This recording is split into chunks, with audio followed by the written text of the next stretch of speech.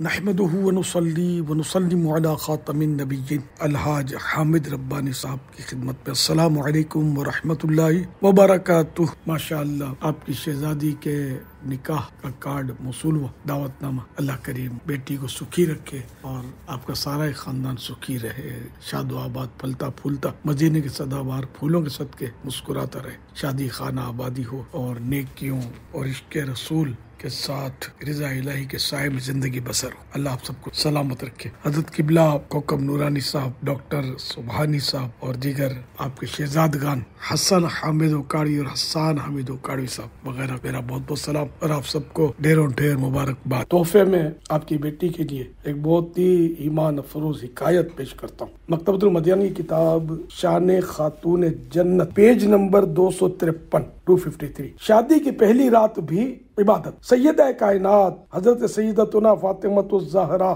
رضی اللہ عنہا کی رخصتی کے بعد جب رات کا اندھیرا چھایا تو آپ رضی اللہ عنہا رونے لگیں۔ حضرت سیدنا علی المرتضی کرم اللہ وجہ الکریم نے پوچھا، اے تمام عورتوں کی سردار، کیا تم اس بات سے خوش نہیں کہ میں تمہارا شوہر اور تم میری زوجہ ہو؟ کہنے لگی میں کیوں کر راضی نہ ہوں گی؟ آپ تو میری رضا، بلکہ اس سے بھی بڑھ کر ہیں۔ میں تو اپنی سہالت کے متعلق سوچ رہی ہوں کہ جب میری عمر بیت جائے گی اور مجھے قبر میں داخل کر دیا جائے گا، آج میرا عزت و فخر کے بستر میں داخل ہونا کل قبر میں داخل ہونے کی مانند ہے۔